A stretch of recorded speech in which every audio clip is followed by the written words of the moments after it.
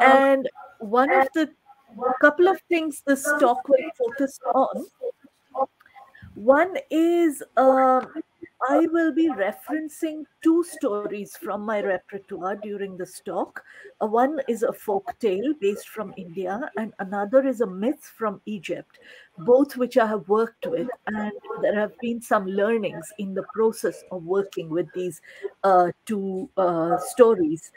Um, the, the elements I want to emphasize in my talk are, um, I suppose, um, the idea of um, going inwards in in my story process in order to extend and communicate the story outwards to people from different backgrounds and different cultures.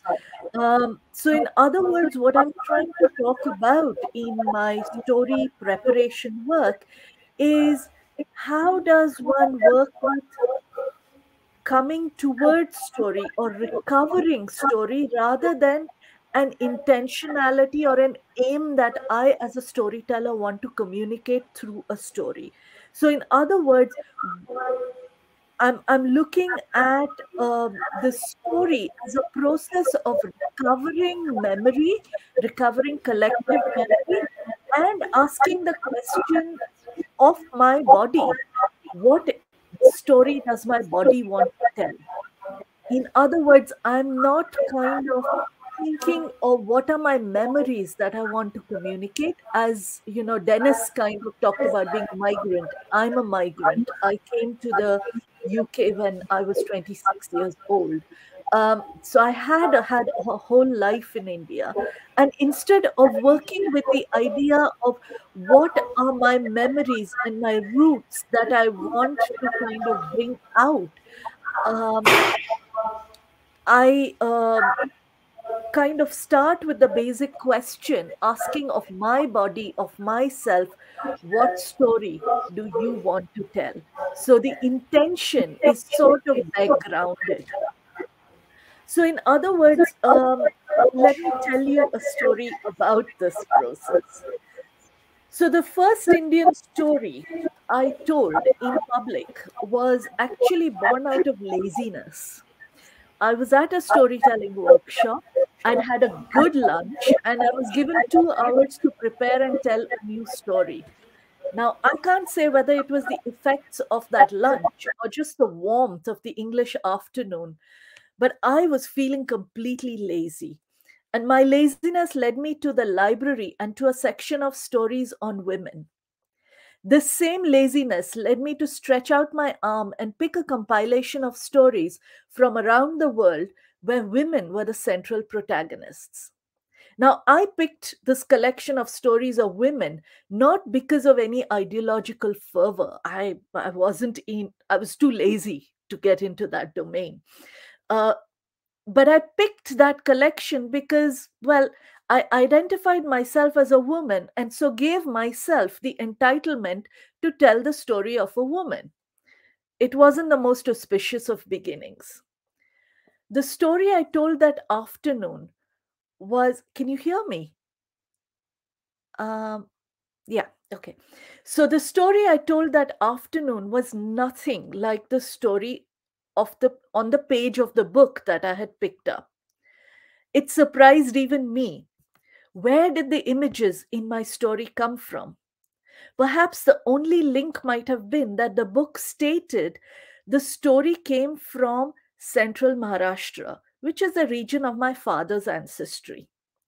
Now, I have never visited this place nor had my father after his childhood, and nobody in the family knew if the village still existed or had been swallowed up by Mumbai and Pune, great big urban conglomerations. There were no images of our ancestral region, which was spoken about in family chats. The story that I told resonated in my body as I told it. In other words, I hadn't prepared the images. I'd read the story and decided, right, I can tell the story. It's easy. Where I felt it was easy, I did not know. It was a story that grew that shape shifted, and that fell back into the story that I told for the very first time.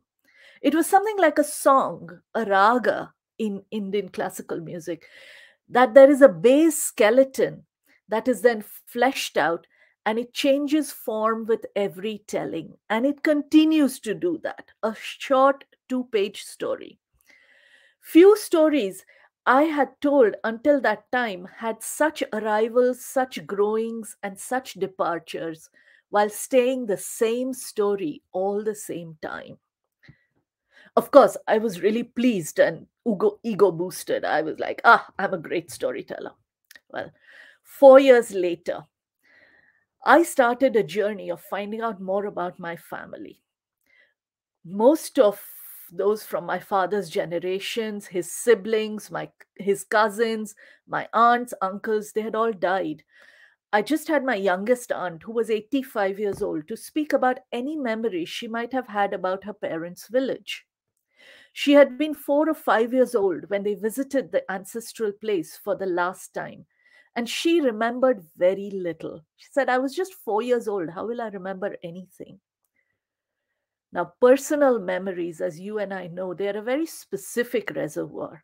So I began to inquire about the larger pool of collective memories of the family, stories that were told in the village as she was growing up. So I asked her about her memories. She said, I don't know. And I said, Well, what about like, you know, stories you grew up with? Were there any stories in the village that were told? She did remember a story something told as a story to her as a child. It was an anecdote that had happened to her great uncle and great aunt. That means two generations removed from me. My great grand uncle and aunt. And was perhaps, yeah. So as she began to tell that story, and she was telling it in Marathi, the local language, the contours of a very familiar story arc emerged. And magnificently, so did the details of the landscape of that story.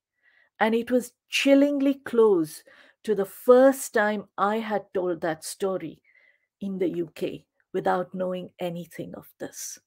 So, the very phrases that I had used to describe the landscape in which the story was set, she began the story with those phrases.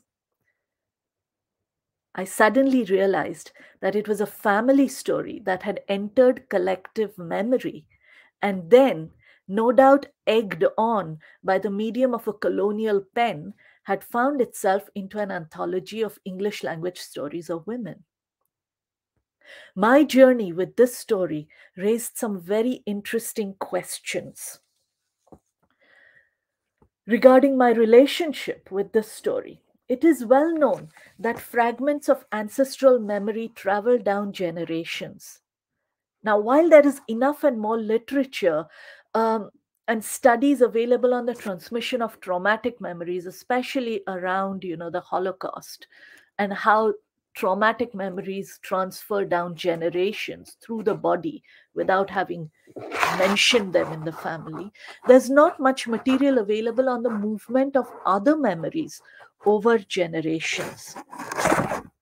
Over the many years of storytelling, I've begun to sense a difference between a story told because it fascinates the teller and a story that springs out of the depths of their being.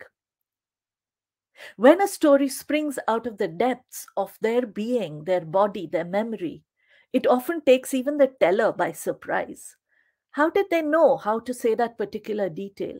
Why does a particular story obsess or haunt a teller even when they may not like it? Fascination of the story is only a tip of the memory.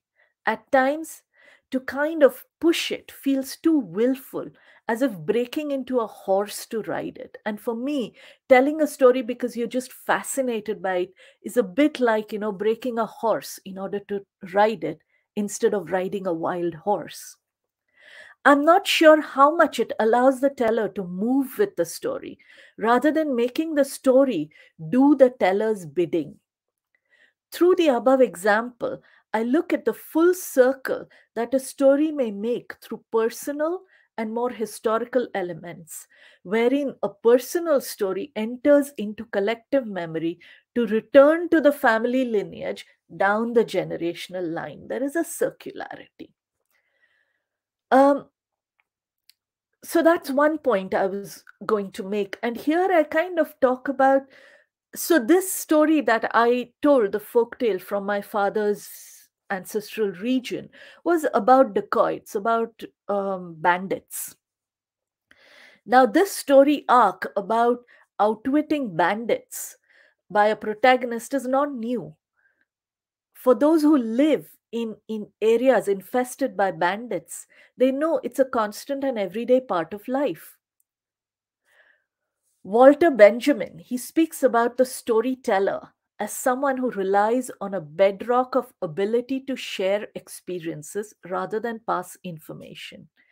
In other words, a story is grounded not just in sharing one experience of outwitting bandits, like the one I told, but maybe it's a conglomeration of many such moments and many such memories.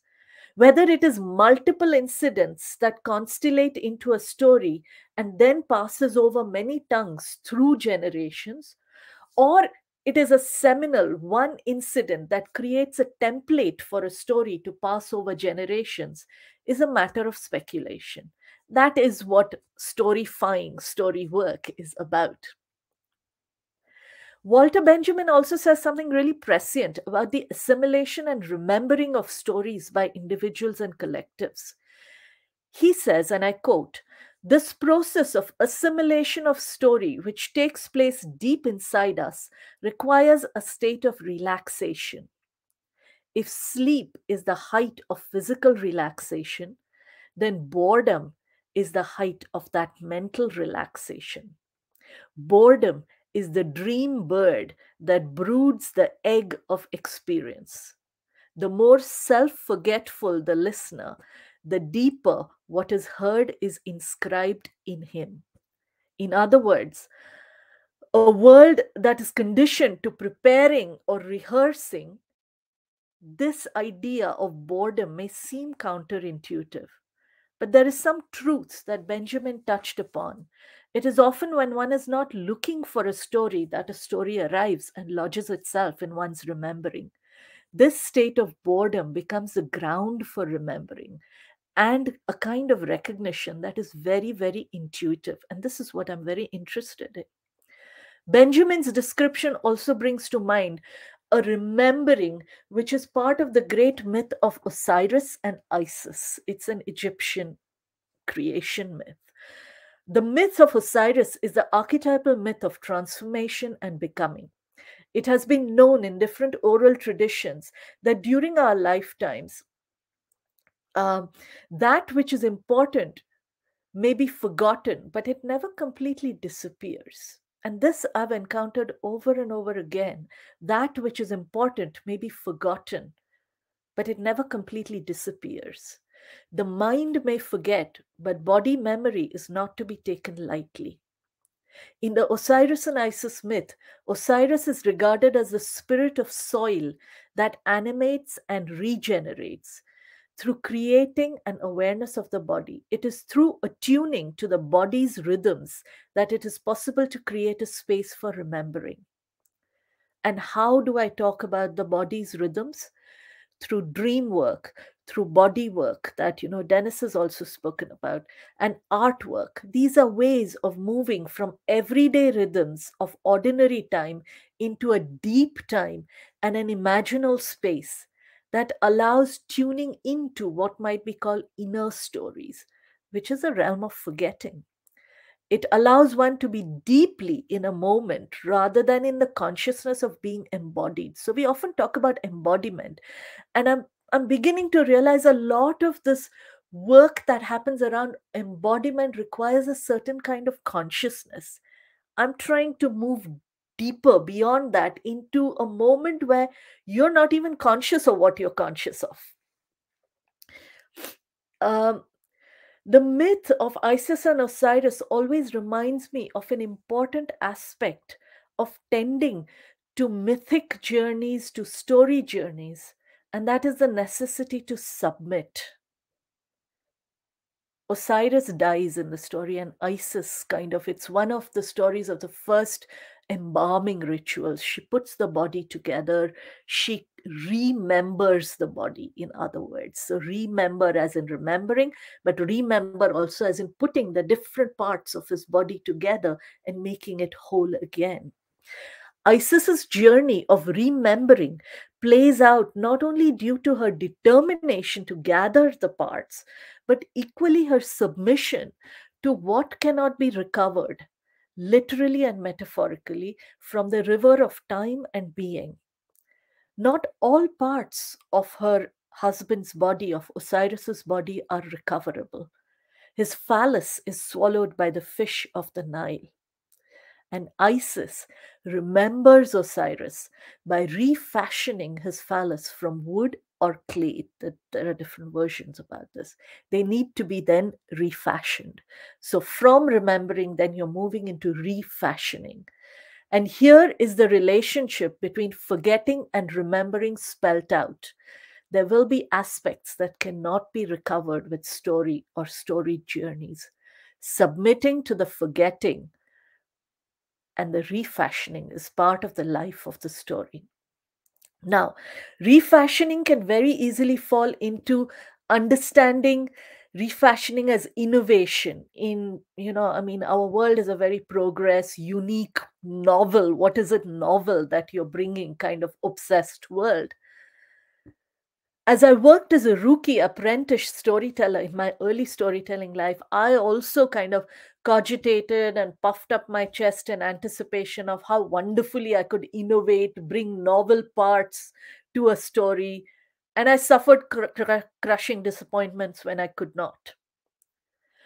Over time, working on my great aunt story and later the Osiris and Isis myth, another understanding of refashioning began to be refashioned.